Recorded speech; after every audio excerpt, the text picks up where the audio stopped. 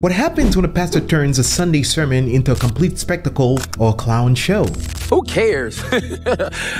I lift my hands in the sanctuary.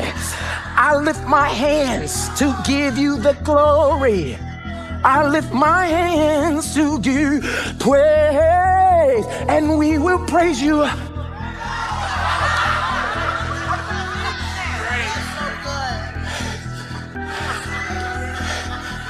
Don't care so much. It's just a temple. Syrup all over the communion. Don't care so much. Over the Bible, too. Yo, stop acting like you care about this. I mean, stop acting like this matters to you pouring syrup on the Bible while preaching on stage? Can you actually believe that? Well, I believe that I can. After all, it was the great Charles Haddon Spurgeon who said that a time will come when instead of shepherds feeding the sheep, the church will have clowns entertaining the goats. And in today's video, we are looking into one of the latest stunts from Transformation Church lead pastor Mike Todd, which might just be the final straw, but to be honest with you, these so-called pastors never cease to amaze me. And in today's video, you will see why it's time for you to walk away from fake pastors like Mike Todd. This could very well be the moment that should have ended his career. Watch this. Um, we were closed for COVID and um, just had about 200, 300 people in 1519 while they were finishing the construction here. And I, I went up and preached a message about seeing vision clearly. And um, I mean, it was powerful. And I did this little example with saliva. And it kind of turned into a big deal. what is the source of this? Where does this come from? Answer Satan. This is satanic. This is satanic. This is not just off center. This is satanic. And I try to do extreme things to help people get it. And yesterday it crossed the line. Now just think for a second. Could you imagine a Mormon doing this to the Book of Mormon or a Muslim doing this to the Quran? Absolutely not. Mike Todd's ministry at Transformation Church has crossed the line, moving from what they were supposed to do, teaching the Bible, to turning the sacred into a prop for his blasphemous acts and wild illustrations. His latest act is not just shocking. I mean, this man has almost done it all, from a treadmill on stage to a bench press to doing backflips on a trampoline in the middle of the church to a bed on stage. The list goes on and on, and now this. One of his latest acts is not just shocking, it's a clear sign that his ministry is no longer about God but attention. And I, for one, have come to the realization that those pastors, those so called preachers, are simply attention seekers. Although people will not be happy about this, well, I said it. They are attention seekers and entertainers. As believers, we need to be on the alert. We need to be on guard against these ravenous walls. The church should be a place where the name of the Lord Jesus Christ, the King of Kings and the Lord of Lords, should be lifted up in worship, not a stage for entertaining performances that only mock God and His Word. The psalmist David acknowledges God's word as supreme in Psalm 138 verse 2, which says, I will worship toward your holy temple and give thanks to your name for your loving kindness and your truth, for you have magnified your word above all your name. What Mike Todd did dishonored God's name and his word, and it's time we seriously question where his ministry is leading the people who follow him. The average scenario in North America with regard to churches, by and large, the churches are democracies, and I don't want to get into the ifs or pros or cons of that. But here's what happens because the preaching of the gospel is so low, the church is basically the majority of it are carnal, lost people. And because it is a democracy, they by and large govern the direction of the church. And because the pastor doesn't want to lose the great number of people, and because he has wrong ideas regarding evangelism and true conversion, he caters to the wicked in his church. And his little group of true sheep that belong to Jesus Christ are sitting there in the midst of all the theater, in the midst of all the worldliness, in the midst of all the multimedia going, We just want to worship Jesus and we just want someone to teach us the Bible and pastors are going to pay for that. I'm not in covenant with a person. I'm not in covenant with a political party. I'm in covenant with God Almighty. I am God Almighty. I am blessed, prosperous, redeemed, forgiven, talented. I've done it over and over and over and over and over again. But if I do it one more Now, obviously, Mike Todd isn't the first to turn the pulpit into a platform for entertainment. We have seen this with other big names in the prosperity gospel movement. Preachers who use flashy tactics to draw in crowds at the expense of true biblical teaching. But what Mike Todd did took things to a whole new level of sacrilege. But before we get deeper into his horrible actions, let's go back to the background behind this controversial ministry. Try to get away from me.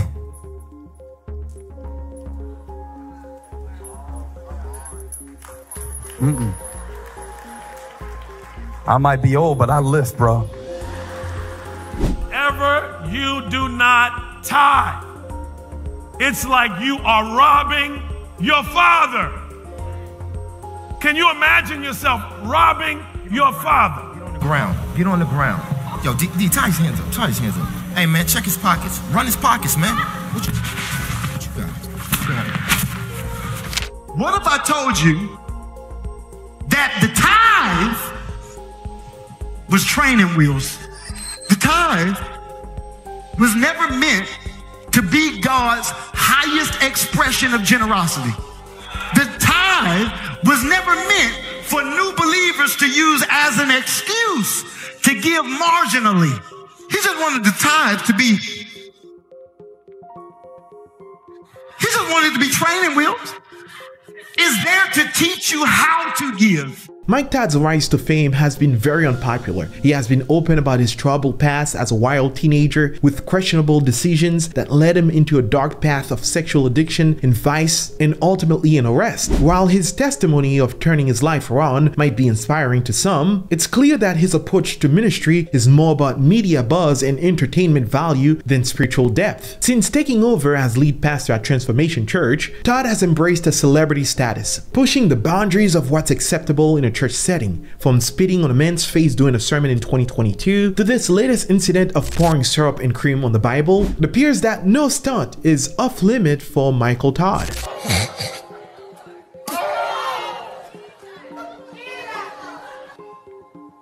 Yeah, because the vision I'm about to give you, it might get nasty.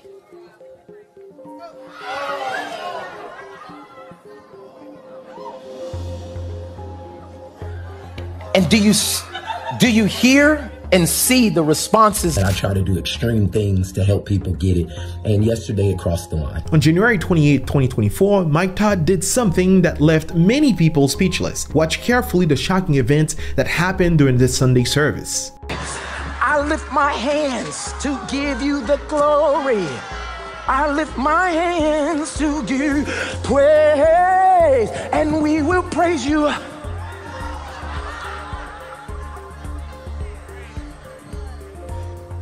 It's just a temple. Syrup all over the communion. Don't care so much. Over the Bible, too. Yo, stop acting like you care about this. I mean, stop acting like this matters to you. He poured syrup and cream all over the Bible. Yes, you heard that right. He drenched the Word of God in sticky syrup and cream, all in the name of making a point. But what point was really made? Was it about God or was it about Mike Todd's need to shock and entertain? Well, as expected, the reaction was swift. Social media blew up with reactions, many were horrified, while some die-hard fans tried to defend the act. And there's always those people to whom Mike Todd is apparently a god. And by that I mean he can do no wrong in their eyes. But let's be real, how can you defend treating the Bible like this? Even those who aren't religious could see how wrong this was. And yet, some of Todd's followers were quick to overlook it. They are more loyal to the man than the gospel or the Lord Jesus Christ himself. Why? What, what was the purpose? I try not to make too many comments without seeing the full context of what's yeah. going on.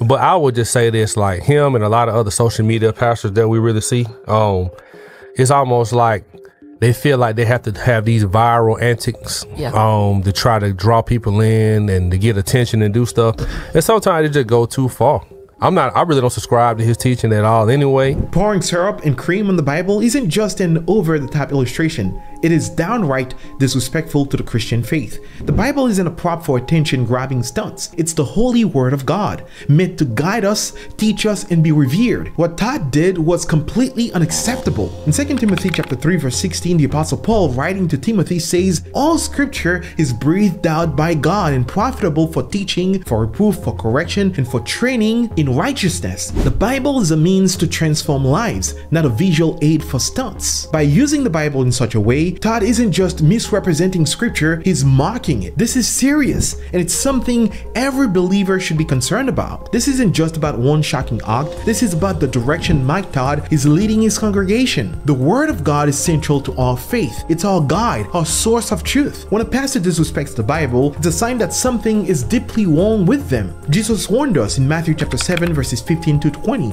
Beware of false prophets who come to you in sheep's clothing but inwardly are ravenous wolves. Todd's action should make us question is he leading his church towards Christ or worldly entertainment? Philippians chapter 4 verse 8 tells us, whatever is true, whatever is honorable, whatever is just, whatever is pure, think about these things. Now let me ask you something. Where is the honor in what Mike Todd did with the Bible? Where is the purity? His actions are the opposite of what this verse calls us to. His actions over time only confirm a troubling reality in the church that also ties back to 2 Timothy chapter 4. 2 Timothy chapter 4, verses 1 through 5. This sort of crescendo in 2 Timothy where Paul is giving this admonition to his protege Timothy. He says, I charge you in the presence of God and of Christ Jesus, who is to judge the living and the dead, and by his appearing and by his kingdom, preach the word. Be ready in season and out of season, reprove, rebuke, and exhort with complete patience and teaching. Why? Why is he urging Timothy so passionately to hold on to the gospel? Verse next verse. For the time is coming when people will not endure sound teaching, but having itching ears, they will accumulate for themselves teachers to suit their own passions, and will turn away from listening to the truth and will wander off into myths. As for you, always be sober minded, endure suffering, do the work of an evangelist, fulfill your ministry. Timothy, there's going to come a time when people will gather at the feet of false teachers. There's going to come a time. People ask me all the time, you know, why is it? Why is it that these heretics and false teachers have such vast ministries and such far reaches? Because the Bible's true. False teachers are God's judgment on people who don't want God, but in the name of religion plan on getting everything their carnal heart desires. That's why a Joel Osteen is raised up. Those people who sit under him are not victims of him. He is the judgment of God upon them because they want exactly what he wants and it's not God. So you get a Benny Hinn in there who all he wants to do is tell you you're going to have a Mercedes Benz. Those people aren't victims. They're, he is God's judgment upon them. They want what he wants, and so they accumulate him to themselves along with all those other teachers because they teach exactly what they want. Do you see that? They will turn away from biblical teachings to entertainers. They will turn away from true preachers to clowns to entertain them. Fables designed to entertain, not to edify. I've always seen the Bible as something precious. It is in fact something precious, something that holds the truth, that can change lives. To see it treated like this is heartbreaking. It's not like we don't have enough people ripping the Bible and cursing God on live TV already. We already have that, so why do this? This isn't just about being offended, it's about recognizing recognizing that something sacred has been turned into a gimmick. And I just wonder how many other pastors are doing the same thing. Not to teach or to edify, but to entertain. 2 Thessalonians chapter 2 verse 11 reminds us, Because they don't love the truth, God shall send them strong delusion that they will believe a lie. Now let me ask you this, are you under a delusion that finds this kind of behavior acceptable? If you're part of Transformation Church or follow Mike Todd, it's time to take a hard look at what's really happening. Is this what church is supposed to be? Are you being led closer to God or just being entertained? 2 Corinthians chapter 6 verse 17 tells us, Come out from among them and be ye separate, saith the Lord. If your church is more about a spectacle, a show, or entertainment, then it may be time for you to look for a new church. And I'm asked that question. I'm frequently asked that question. Why is it? Why is it that that, that God allows these false teacher, teachers to prosper, these false churches to grow? Why, why, I mean, why is it? If I was God, I would, I would just like, mushroom cloud, man. Just right there in the middle of TV, somebody opens their mouth and tells a lie and then ashes. Why? Why do these false teachers prosper? Why do these false churches grow? The answer is because the Bible is true. Listen to it again. For the time is coming when people will not endure sound teaching. Having itching, itching ears, they will accumulate for themselves or heap up for themselves teachers to suit their own passions and will turn away from listening to the truth and will wander off into myths. False teachers will prosper and false churches will grow. And it will happen because the Bible is true. Too often, many Christians follow pastors because of their charisma, not because of their commitment to the word. But charisma isn't what will get you into heaven. The truth is, God accepts us as we are, but He doesn't want us to stay that way. We are called to repent, to turn away from our sin, and to pick up our cross and follow the Lord and Savior Jesus Christ. Mike Todd's syrup and cream stunt isn't just a mistake, it's a sign of a deeper problem. Are you willing to overlook it? Or will you choose to stand for what is right, for what is biblical, for what is holy, for what is Christ like? There is a world out there that hates the gospel because they love their sin. And we're seeing this right now today. They hate the gospel because they love their sin. And the gospel is proclaimed, but then there are false teachers who are scratching itching ears. And for example, same-sex marriage. There are people out there who are now moving away from preserving the truth and basically are saying, you know what? I, I, am a Christian and Christianity is wrong. I am embracing this lifestyle. And the world says, yes, the enlightened ones.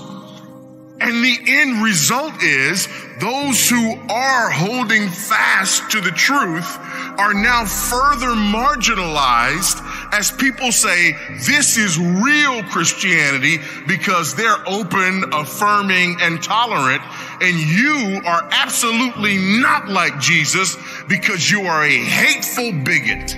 Are you following a pastor who follows God's word or one who uses it as a prop? Are you sure you are being spiritually fed or just entertained where you worship? True worship honors God's word. It does not treat it as a joke. If your pastor is more focused on creating viral moments than leading you in truth, for the sake of your faith, your family, your wife, and kids, it is time to leave behind teachings that don't align with scripture. Know God for yourself, seek Him in truth, and find peace that surpasses all understanding in the Lord and Savior Jesus Christ. Do not settle for less. Do not follow a clown who's set to entertain the goats, but follow a preacher who opens the Word of God and teaches the Word of God to you so that you may be edified and grow in the knowledge of our Lord and Savior Jesus Christ. This is it for this video. Let me know what you guys think in the comment section down below. If this is your first time on the channel, like and subscribe, and I will see you guys on the next one.